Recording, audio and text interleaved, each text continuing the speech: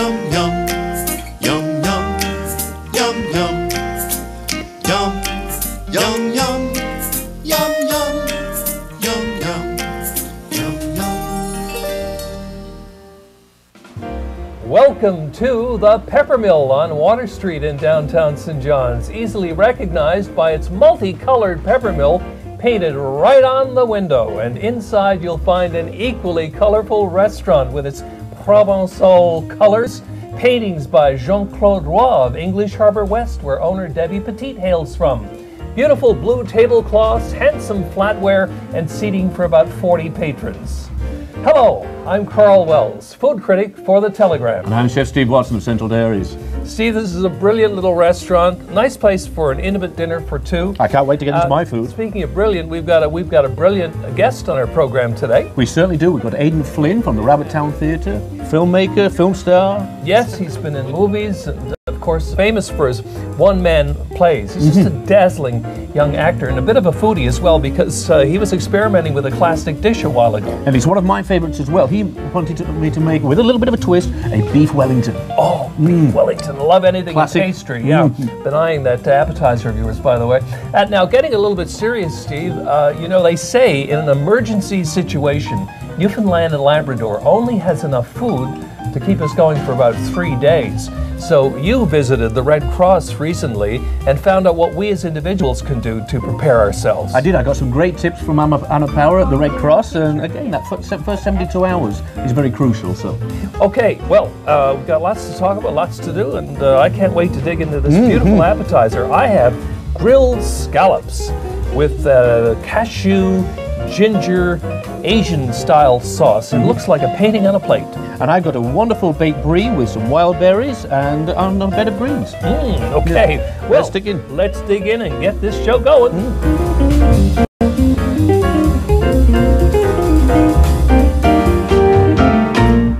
I always tell people if you're embarrassed complaining in a restaurant, then you should go home and write a letter. Well, Karl, when I was in the kitchen, I used to enjoy getting a letter with constructive criticism. That's the key. That's the key.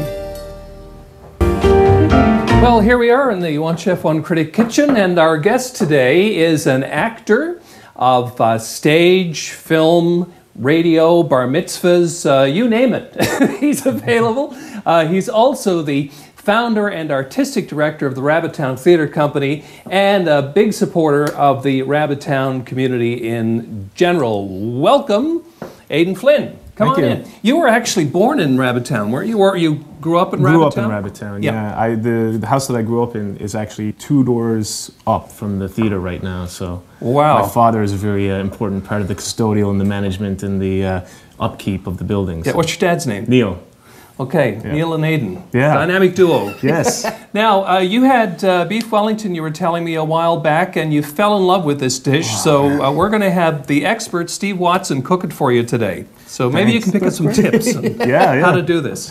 Perfect, Aiden, and welcome to the show. Thank you. What I have here, Aiden, is a beautiful beef tenderloin, as you can see, and uh, we're going to be searing that off in a little bit of olive oil and some butter. We'll season it nicely, and then what we will do then, we'll add some pate, and we've got a duxelles of mushrooms, which is finely chopped mushrooms with some uh, onions in there, and we'll reduce that down with a little bit of red wine, and we're going to be serving that with some Parisian potatoes and some asparagus tips. So This looks like an expensive uh, cut of beef, uh, Steve. How much would that uh, cost you at the supermarket? Beef Wellington is an intimidating dish, actually, because that piece of beef there is about $47, $47 So you don't want to screw it up. No, you don't. You don't. Yeah. But it's one of the simplest dishes to make as well. You see. So, uh, so let's get cooking, shall we? So first of all, what we'll do, we'll just season it nicely, like here. The other thing is, of course, to get get it when it's on special. That's always a, that's always a good idea. Well, it's always a real crime when they trim it. You know, and they, you see them cut away about thirty dollars. You know, it's like- yeah, that's Well, right. the, the idea is, is to go to the, the specialty meat department and ask him to trim it first, and then let him weigh it. So right? Yeah, yeah. Steve, is there any reason why chefs take so much of the fat off beef? Um, Because this is beef tenderloin, it's a very, very lean meat, and uh, you just want all the protein in itself. You don't want the, the meat, uh, the fat would, it, on there. would so- it affect the pastry? Because you're going to wrap this in a pastry. It will do, and that, that's correct there, Karl. Actually, with all the fat on there, it would seep through it and things like that. And we've got enough fat there in our cognac pate as well. So, so let's put a little bit of oil into the into the pan. And we'll also put a little bit of butter in there as well. Any particular uh, kind of oil? Now, what I've used here again is a nice virgin olive oil, not extra virgin for this one because we want to Yeah. keep the, the lower uh, flash point on there. So, So, Aiden, when you made your beef Wellington, uh, did you use similar ingredients? We did, obviously yeah. the Well, beef. obviously the but- beef, yeah. And uh, the one thing that Steve said though that we didn't use was the the pate, and I think Right. that that's actually going to make the consistency a It lot is, better. yes, yeah. yeah. Oh, so you didn't make a classic uh, beef Wellington? you didn't have the pate, the No. cognac pate. No, we did not. Actually, I suppose the classic would have the, the actual duck liver. the The foie gras. Foie gras around Yeah. it, exactly. We used the uh, sometimes. Well, we did the prosciutto wrap or the uh, ham wrap rather as well too. So Yeah. So Sounds that- that, and then we'll put that in there. And we're just going to sear the meat nicely. What I can get you to do, Aiden, Yep. maybe is I'll get you to season the other side of the meat because we've only done Absolutely. the one side. Sure. And I'll get you to, to turn it a couple of times as well. I can do that. This, this dish, named, of course, after the Duke of Wellington, who clobbered Napoleon at the ba- Battle of Waterloo in 1815. you know what the Brits and the French are like, Karl. you know, kind of Oh, thing. so. tell me about it. Probably fed him an entire one of these. Maybe. Yeah, actually, he wasn't much of a he wasn't much of a foodie, the Duke of Wellington. They named the dish after him, but he, he didn't care that much about food. well, well, he was like Sort of- myself. He was very much a workaholic, you yeah, see. it was just a, well, it was just a fuel for him, you know. Yeah, yeah. So- Well, it's good fuel. oh my gosh. Fueled us all the way through Christmas. So. Yeah, yeah.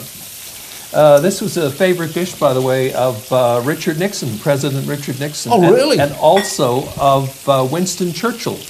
Well, I can see Winston Churchill Yeah. being the favourite. His, his, his that's for chef sure. made it for him during the Second World War. So, So should I keep turning this kind of Uh, just leave it for just a Yeah, couple of minutes there. That'll be fine, Ada. So as you can see, I've got the pate in the dish there, and uh, that's going to bind the mushrooms that we have here, the button mushrooms.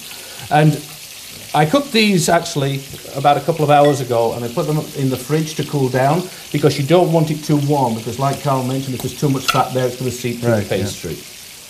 the other thing is browning meat is very important because it what it's what gives the beef flavor. And that searing of flavour. yeah, that caramelization on, on both sides eventually uh, will impart tremendous amount of flavor to this beef. Absolutely. Is it? Uh, and uh, sometimes you can roast this maybe too, or You could roast it well, prior to um, Yeah. putting it in the puff pastry. Yeah. It all depends on the, the size of the uh, the cut you've got. Here we've got the centre cut. Right. Uh, if you had the head of the tenderloin, which is a lot larger, I would sear it for a start, then pop it in the oven, for about 10 minutes Right. to, to cook it to a little bit further. So we can turn it over now, Aiden, that would be perfect. Obviously, the cooking time, uh, you know, will determine the doneness of the beef as well. So if you want it rare, you know, you don't, you don't keep it in the oven quite as long. Exactly. it's nice when it's got a nice little pinkishness. to Oh, you, when you want it yeah. medium rare, Yeah, rare, yeah. right, yeah. Aiden, I was going to ask you, you do some uh, improvisation uh, from time to time as well. I've been known to do it. Yeah. Speaking of things that intimidate, that, that would intimidate me, uh, being an improv actor. Well, you know, you don't have to learn any lines, so Uh, that's. well, I, I uh, know, but that, yeah, make them up. They have to be funny. Or Well, you know, sometimes sometimes it's not so much funny. But uh, I, I guess what I like about it, I actually like doing it because uh, when I go into rehearsals for other shows, if I'm Yeah. doing a lot of improv at the time, Yeah. it'll keep things uh, nice and fresh in rehearsals Yeah. as well. So. Now, do you do you eat anything special before you perform? I mean, do you, do you you know, like hockey players, they eat pasta Yeah. or whatever. You know, is there any? Do you have well, I any kind try of not regimen to that you eat follow? before I uh, go on stage. Yeah. You know, you don't want to be on stage and uh, have the uh, memory of the lingering meal sort of conjure up in the middle of the second act. You know what I mean? So we're almost there with that meat there, Aiden. And I've got this beautiful uh, piece of puff pastry. And what I did, I just went to the uh, the local store, went to Coleman's, went to the bakery department, and just asked for a sheet already rolled for myself, you know. And I brought that along because pastry again can be intimidating. Yes, it can, and yeah. nature of the dish and things like that, and especially puff pastry. So when you say already rolled, Steve, is it is it is it like that? that, when you- when I bought it, it was just like this. This was Oh, one sheet, really? and they sold it to me on a board. give and, you the sheet. Oh no, not the sheet pan, but the sheet. Very itself. generous with their yeah, yeah, very. Yes, yes. So we're just going to put that down the centre of our puff pastry there. Beef and mushrooms are a great combination, I find. See that? I mean, it's uh, you know, I can't understand why uh, Wellington uh, turned up his nose at beef and mushrooms and it's I can't either. And foie gras. Can't foie gras, you know. He took it all from Napoleon, you see. So. especially you know, especially being being from Britain. I mean, my God. Yeah. the British and beef, you know? That's our mainstay for sure. Yeah, exactly. Nicely spread that there. And do we need to keep any for the to- like to for the top when we lay it in? Or? Uh, not necessarily, because this is going to be the top. Because Right, when of we fold it over, Yeah. and then it'll all seep through. So, so if you want to take that out, we can put Okay. that on there now. All right, here's going to be the. Uh, I don't want to, uh, you know. Don't be shy. Go straight on there. Okay. Perfect. Do we need the pan kept up? Uh, Yeah, just keep it up a little high there, okay, and very there we go. I'll uh, look after that for you, sir. perfect. So I'm go- while I'm wrapping this for the um, for the potatoes, we're going to be making a Parisienne potato. So. Um, what I have here is all these small little balls of potatoes. Oh wow, look, they're cute. that's the cutest. that's the cutest ball of How do they grow potatoes? what I'll do, I'll just take the water off, and Yep. then we will um, cook them in the in the frying like pan. to And I'm going to uh, get you guys to make some. I'd like to Yeah, know how. sure. Yeah, I was just going to say, I'd like to know how you made those. Yeah. Okay, we'll just leave that over the side there, Karl. But we'll need They to put great. some Look at that. oil in the pan there. Beautiful. They look like they're edible already. Yeah. They do, yeah. I suppose you could eat them. I'm not much into raw potato. Raw potato. We're But, talking about uh, raw potatoes. We'll make them then. So what we have to do, we just got the potatoes here. Now I've got a couple of Parisienne scoops here, or melon ballers. Now you don't want to get a cheap one because the heads will fall off, so to speak. Like I bought yesterday. The want to go to Don't show the brand name. Don't. No, show no, no. I won't show the brand name, and, it, and it broke off there. you And yes, and, and folks, just, let me see. He, Steve did not get this at Coleman's, okay? no, no, I didn't know myself. So I'll get you, Karl. Maybe and uh, maybe first of all we can pour the potatoes into the Okay. into the pan there. That's perfect. Keep the uh, the bowl there, and then Oh. you can start to uh, All to right. practice. Let, I, let's just see how this goes. I'll give one to you. And one for yourself. Ian. You can have the large melon ball scoop, and then- then there's the small one. Okay. there, so. Let's see how Karl does here first. Now. Not very good, I don't think. But anyway, it's kind of not. kind of like a half, It's like a uh, half a ball. You- You're supposed to go all the way in there, get a full All right. ball there, Karl. You notice all the ones that I have there in the pan? Let's see. Look, I did the same thing there. Don't be shy. Now, as you can see, Aiden, what I've done, I've just got an egg wash here now. And we just go around the e- extremity of the, the puff pastry. Right. What I will do, though, I'm just going to keep a, a little strip off here. What do you do when you run out of room? For, for you know, I've almost I've like made three balls and the potatoes almost used up. Well, what you could do then, you We're can the bake same them in the oven, and you use the uh, melon baller and some cheese, and you bake them in the oven with some cheese. Oh, okay. Yeah. You should never waste waste food. No, absolutely not, Karl. And I am you, a you poor end up uh, with a potato that looks like the uh, mice have been at it, or in this case, something larger than a mouse. there we go. So you see that, A- Aiden? It's nice and tight now. They Yeah, and you got. I guess you have to get all the air out between. the- Absolutely. Yeah, yeah. Yeah. And then again, we'll just do quickly with some egg wash over the top, and we're just going to decorate it as well. So Now that's the one thing that we didn't do with ours. Is that we didn't have the uh, the the bravery to little decorate. the, decorative uh, touch. Yeah, yeah. Actually, I don't think it's that difficult, is it, Steve? No, all I'm doing, I'm just going to cut some strips. I'll take You have to like bring out your inner Martha Stewart. I do, indeed. Yeah. Well, I'll see if it jumps out here right now. It's certainly not happening with this with this potato. So. like so. Don't forget the potatoes, Karl. You can just stir, them up around a little bit. yeah. And uh, they'll, they, I guess the, the idea here is to get them golden brown, Steve? Absolutely. Yeah. And then we'll, we'll pop them in the oven for about 10 minutes, Oh, 15 okay. minutes. They won't Yeah. take long to cook once you fry them on the top And of the... folks, don't don't put your pan with a plastic handle in the oven. Well, that was a pretty good one there. Look, that was uh, almost round. Well, see, that's it. That- Yeah. This that- one here. I- I- these ones closer to the Oh, end yeah, here, these so- are these are pretty good Starting to actually. you've done- you've done a good job Yeah, with yeah. those ones. Yeah. Okay. You're obviously getting the hang of it. I am, yeah. Anyway, listen. While you practice, uh, you know, making potato balls, Steve does his decoration. I'm going to go to the wine cellar and get some wine. Sounds okay. good. And while that's happening, I will just bring one out that we've got already be, been prepared. Look, how's that? Oh, look at that. Your favourite, eh? Oh, let's just cut into it right now. Yeah, yeah, yeah. No, I think we should wait till Karl comes yeah. back. But, uh, but there we go. That is lovely. And we kept that in the oven for about 45 minutes. And then uh, just topped it with some uh, tin foil at the end. The leaves are beautiful. Yeah, thank you very much. 1003, 1000. Oh, hey, What are you doing? I gotta work off this turkey and wine. Christmas was brutal. oh, Well, geez, you, you're always lugging cases of wine around. I mean, yeah, yeah, I just figured, you know, I should do a little bit Ah, more. you don't need to be at that stuff. Uh, listen, Jeremy, uh, we have Aiden Flynn upstairs, and we did this beautiful, or Steve did this beautiful beef Wellington. You've had beef Wellington. Yeah, oh, yeah. It's gorgeous. We got a, like a forty-seven dollar slab of beef, Wow. cognac pate and mushroom pate. I can't wait to I can't wait to taste it. Steve anyway, we need we need a, a, a noble wine. We need a great wine to go with this beef Wellington. Well, classic just so dish. happens a lot of uh, Bordeaux's came in this week, so Oh, uh, let's see what we got here. Uh, Bordeaux is one of those really tricky things for customers and consumers because it's really tough to find a wine that you like because the label's so confusing. Chateau this, Chateau that, and you don't really know what's inside. Mm-hmm. Mostly with Bordeaux, it's either Cabernet, Merlot for the most part, and then they have blending grapes in with it as well. Cabernet Franc, sometimes uh, Malbec as well, you know, from Argentina basically with Bordeaux, price ranges as well as an issue because sometimes they can go from twelve dollars Yeah, yeah, yeah. up to thousand dollars. Uh, This is also a wine that ages well, right? they do, but you have to kind of know what you're buying and what years were better than others to, to put something down to age. If you're going to age a wine, though, Bordeaux is the way to go, definitely. Uh, but to start off on like a basic level, looking at something like like these wines here, they're Bordeaux superiors. Basically, they're they come from anywhere in Bordeaux, mostly Cab or Merlot blends. A lot of times they'll say on the label now they've started to get into that. So this is Merlot Cabernet Sauvignon, easy drinking, easy going wine. Nothing nothing too fussy. Uh, but you can go into something like a single vineyard wine, which is a sh- single chateau from a single uh, region in Bordeaux. Cost a little bit more. This is around fifty dollars. There's another good bargain to go for though if you're looking for Bordeaux. The second wines. Yeah. We have two wines here. What do you mean by second wines? Well, we have two producer. We have one producer, Chateau Talbot. This is their second wine. This wine costs hundred dollars.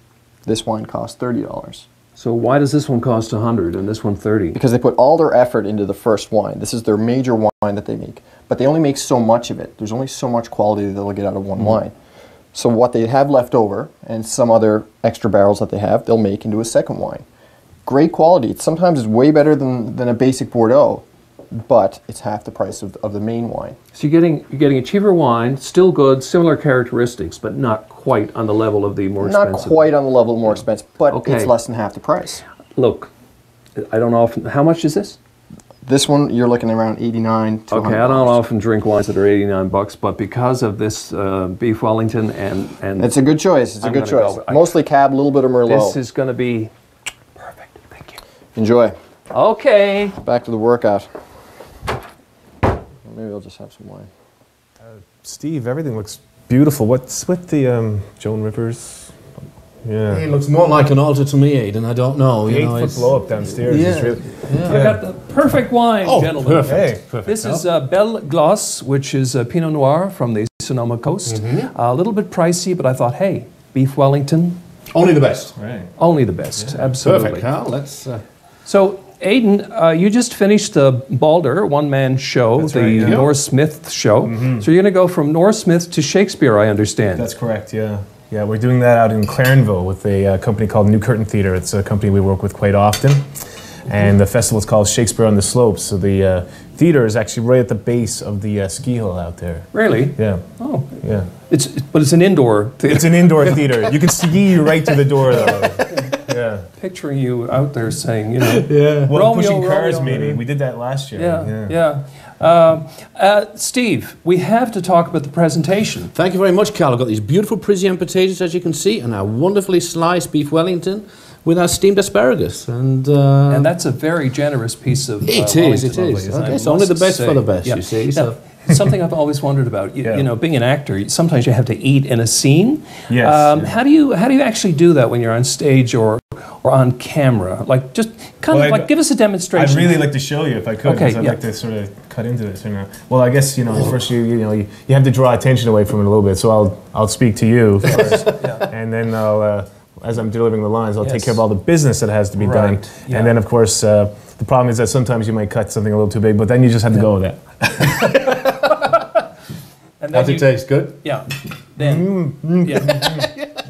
And then the other people, if they have lines, they go ahead and they say things. Um, In the case of myself and Steve, we're just kind of vamping here until you. Mm. Yeah. Mm. I, actually, I think what we should do is we should taste it. We now. should have a sample as well, Karl. Yeah. indeed, we should. We'll taste it, and then we'll get Aiden's opinion on this uh, beef Wellington. Mm. Beautiful and tender. So, Aiden, what do you think? It's absolutely amazing. Yeah, I think I think you've done a s an outstanding job, Stephen. Well, it was teamwork. Absolutely Teamwork. wonderful. Now, uh, you're going to send us uh, one of your recipes for the website, I am, yeah. which is what? It's kind of a brown Betty, and it's a perfect meal to have after. Very quick, and uh, you can just whip it up in, in a matter of minutes. So it's a fruit dessert, right? fruit dessert, yeah. Okay, perfect. Uh, so, folks, if you want to get Aiden's recipe for brown Betty and Steve's recipe for beef Wellington or boeuf en croûte, as the French say, uh, go to the Central Dairies website. That's centraldairies.com. Click on the One Chef, One Critic page. And there you go. You've got it. Uh, thank you very much, Aiden, for being you. with us. It's been a slice, slice of beef. A healthy slice. Thank Healthy slice. Indeed, it was. For more of Chef Steve Watson's recipes, our recommended wine lists, and guest recipes, log on to centraldairies.com. Have a recipe that you want to share with us? Send it along to onechef.onecritic at rci.rogers.com. Be sure to attach your name, address, and contact number, and you and a guest could be eligible to win a dinner for two at one of our city's finest restaurants. Let us know what you think of the show at 757 9600. When serving a meal, always warm your plate to help keep the food warm a little longer. I always do that actually because a cold plate will actually suck the heat out of your food. and we don't want that. No. Well, Steve, uh, Aiden Flynn, typical journeyman actor, never stops. He's a busy, busy guy. He doesn't, does he? Just look at these desserts. We've got a beautiful partridge berry crisp here with French vanilla ice cream on top. What do you have? I've got a three chocolate cheesecake, the white, the dark, and the chocolate ganache on the top. Now, in an emergency situation, we probably wouldn't be eating like this. We're probably eating out of a tin. Well, we'd be eating out of a tin for sure. Uh, speaking of which, uh, Steve is going to take you on a little uh, visit now to the Red Cross where we're going to find out exactly how to prepare ourselves for an emergency. You never know when you're going to have to leave the house in emergency. And we're here today at the Canadian Red Cross with Anna Power, and she's going to give us a few tips on just that.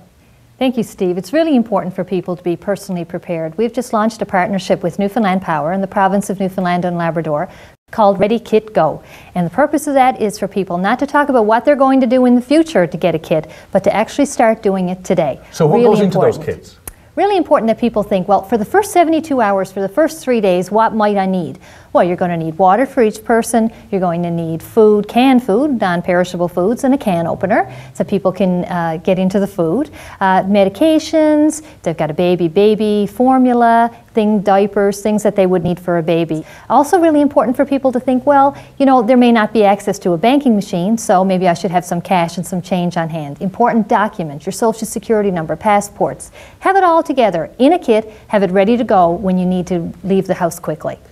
Should you be checking this on a regular basis? You should indeed. Really important that you have a radio, for example. Radio doesn't do you much good if there's no power, so you need to have batteries. Check the batteries and everything. Make sure that the batteries are not expired, that your water's not expired. Even canned goods can expire. So once a year, make it a point to check it. This is a great project for a family, Steve. I know in my own family, uh, I should really have that in the line of business that I'm in, and it was my 10-year-old daughter who said, like, Mom, shamed me into it. You know, you should really have one of these kits. And she was the one that started going around the house finding where should we store this? What should we put in it? Where everybody needs to know where it is. Let's put some cash in it. So she's actually the driving force behind it. A great family project for people to be involved in.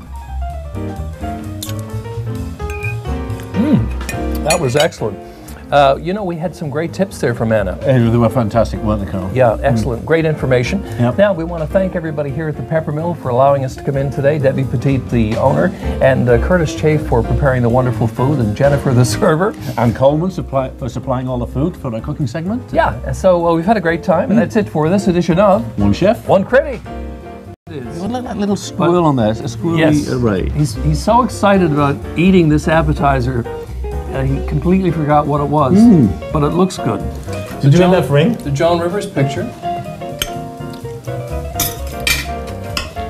Actually, that's not Joan Rivers. What? It's me. All right, yeah.